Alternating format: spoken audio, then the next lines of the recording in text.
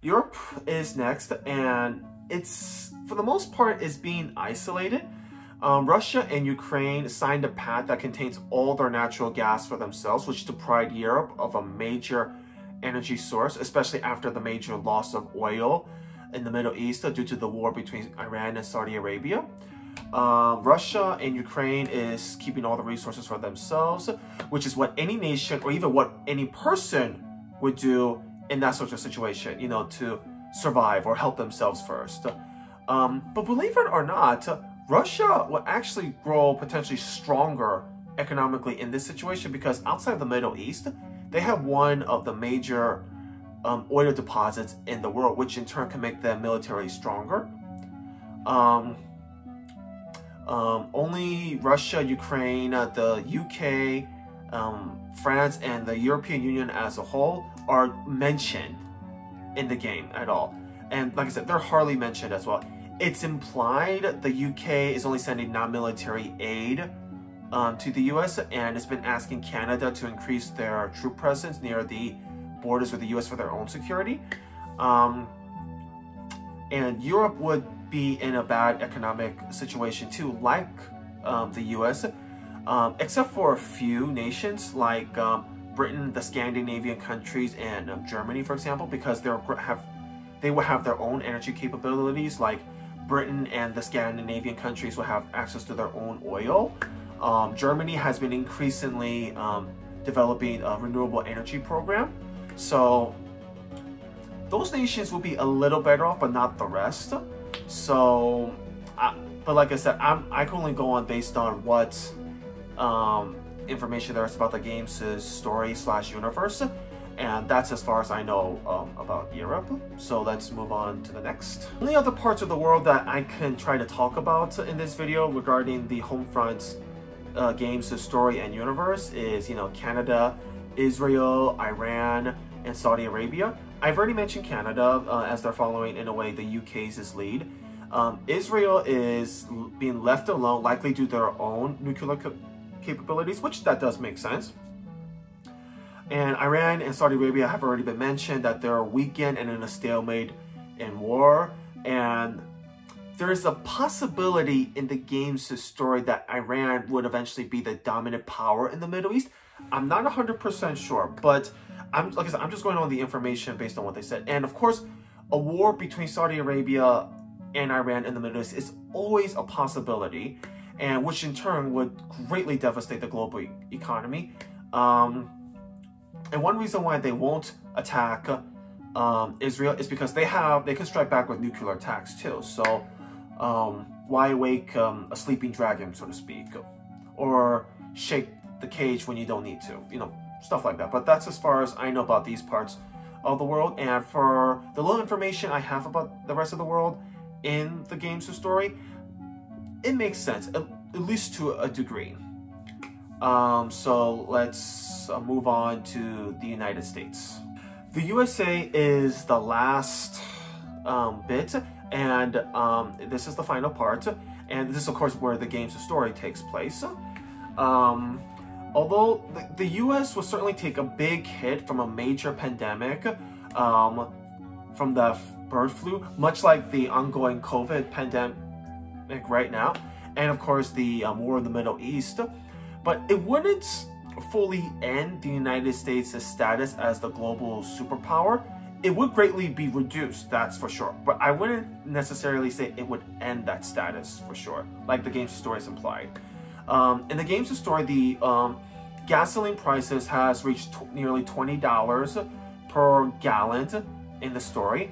Um, most working um, American families have a hard time making even a decent living now.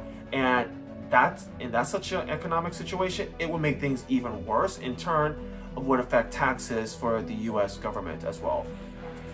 Oil supply will certainly be limited because the uh, Middle East is, you know, ravaged by war and Russia's keeping like their oil for themselves as well. Even though oil wasn't mentioned in Russia, but that would be my best guess. Um, withdrawing the overseas military forces from the bases would certainly reduce military costs, but this will also allow nations to rise up in power internationally, like the pro-North uh, reunified Korea. Um, the United States, in such a scenario, um, suggested by this game's story, would certainly be weakened, especially after a massive EMP attack. But even so, um, it would be very difficult to invade the United States or the United States mainland. Kaiser Wilhelm II of Germany supposedly have said that the United States is lucky. They have two weak neighbors and they're surrounded by two massive oceans. So really the only thing that they worry about on the oceans is fish. Um, this is why the, the former German emperor was so jealous of the United States and envious before World War One. Um, a pro-North reunified Korea would also need time to build up their military strength in many aspects, especially a sizable naval fleet and supporting air forces. This would also necessarily mean a Cold War, you know, for time building. Even the USSR needed time if they really wanted to invade the United States. Um, despite building up a sizable naval fleet of submarines by the time of the Soviet Union's collapse. Um, this could be partly balanced out by seizing other nations' military assets, like their navy ships, for example. But that one will be partly balanced out. But even so, you still need to build a massive amount of forces. Um, however, if there is one thing um, that can unite the people in the United States is a common cause, or in this case, a common enemy. Um, this will of course be better applied to the world in the event of like a major natural disaster or like an alien invasion or aware of the fact that aliens exist. Um, this can also be best seen um, in history for the United States during World War II, for example. Um, although there is a minor um, yet significant potential issue, which is the possible internment of certain ethnic citizens, like what happened to the Germans, Italian, Japanese Americans during World War II. This was partly resolved in the game's story by a major um, U.S. resistance member um, who was a Korean American who was born and raised here in the U.S. Um, ethnic Koreans such as myself may see such a thing, but there's also a chance we may not due to certain aspects in the cultural and political awareness. Um, this will also include K-pop's popularity. Um, for example, um, of course, you know, the unity can be um, not fully include included in certain aspects because um, uh, like Mexican Americans, for example, during World War II, uh, didn't get a good repertoire after World War II, um, and so on and so forth. But that's just the that's just the little things. Um, however, um, so I wouldn't be surprised if crime members or gangs would join the resistance efforts. There's a chance they might turn a blind eye to uh, a foreign invasion, but at the same time, they may not, especially if such an invasion will hinder their profits and their overall activities.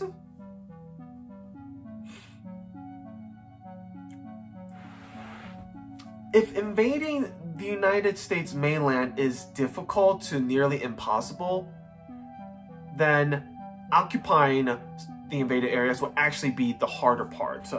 Um, the GKR in the game story has 20 million troops for their entire territories. We're talking East Asia, so the two Koreas, Japan, all Southeast Asia, Hawaii, and the Western United States, all the way up to the Mississippi River. Oh. But not Alaska. Alaska, I don't think was mentioned in it, so let's not mention Alaska at all. Um, although they have their military does have um, an automated drone force, while the total number of those isn't known, but it's implied they have quite a few number of these uh, drones in their in their assets. The main example is like the Goliath um, ground force drone and that gun tower that um, that scans for um, people. Um, um, so you have to blow it up with a grenade um, close at the base. the GKR can maintain order and control in the territory prior to invading the United States with a 20 million man army. However, invading and occupying the western half of the United States up to the Mississippi River, which has been irradiated, would likely require every single one of those troops. So they'll need more in order for, for such an endeavor. And while poisoning the Mississippi River with nuclear waste or radiated materials is a good military idea, but it's not a good economic or um, environmental issue because that river supports the entire U.S. Um, uh, Midwest, which is one of the world's major bread baskets or food production areas. Um, it would cut off direct land routes from the eastern United States, so any U.S. or allied military forces would have to either travel high over the air over the river or go around it like via Canada. Uh, but even if the U.S. were to withdraw all their overseas military, particularly the specific forces back to Pearl Harbor and the West Coast, um, even then, those defenses are still hard to break through. And even with a massive EMP that just permanently disrupts all electronics, because there are still a few mechanical-based defenses where they're not affected by an EMP or even a hacker, for that matter. So it will be very difficult to do for invasion of the United States. It's not impossible, but it's almost impossible. So, in conclusion, while um, the Homefront um, game released in 2011 by the defunct THQ and Kaos Studios is still possible, yet largely unrealistic despite the high probability of likely to nearly impossible. Um, North Korea would need a lot of cards in their favor and would take many, many years to um, achieve it, likely even decades to achieve such a power status. While major events in other parts of the world, like a war in the Middle East, for example, could help, um, but it will still take a while still. So um, that's the end of this video. Now let me know what you guys think in the comments and um, I'm going to see about um, ways of uh, people to support the channel with Patreons and other sources like merchandising, for example. Um, they may be already be in the links below. If not, I'll start including them. Um, and please um, support me however way um, possible, please. Um, thank you so much, and I look forward to seeing you guys in the next video.